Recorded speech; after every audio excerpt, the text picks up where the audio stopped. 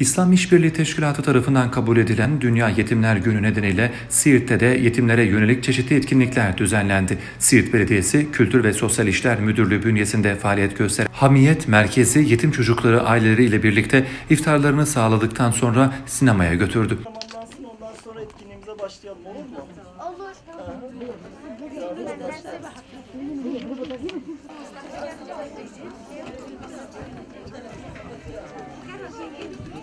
Getirecek ya.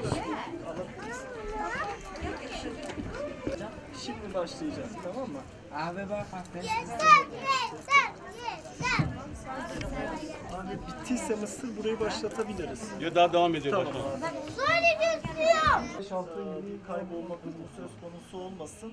Ee, Vali Bey'in çok selamı var. Ee, boynunuzda kalmasın. Etkinliğimize de iştirak edecekti. Şu an farklı bir etkinlikte. İnşallah başka bir etkinlikte tekrar Siirt Belediyesi'nin yapacağı programlarda sizinle bir arada olmuş olacağız. Kültür ve Sosyal İşler Müdürü Murat Özekinci şöyle dedi. İslam İşbirliği Teşkilatı'nın almış olduğu karar neticesinde Ramazan ayının 15. günü Dünya Yetimler Günü olarak kutlanıyor. Bizler de Siirt Belediyesi olarak kültür ve sosyal etkinliklerimiz kapsamında, sosyal belediyecilik faaliyetleri kapsamında yaklaşık bir yıldır Hamiyet Merkezi kurduk. Hamiyet Merkezimize bağlı kardeşlerimizin eğitim, kültür, sosyal aktiviteler ve diğer faaliyetleriyle yakından ilgileniyoruz sosyal yardımlarıyla birlikte. Bugün de yaklaşık 250 kardeşimiz de iftar çadırımızda iftarımızı açtıktan sonra e, burada sinema etkinliği gerçekleştiriyoruz. E, her zaman kardeşlerimizin yanında olduğunu ifade ediyoruz.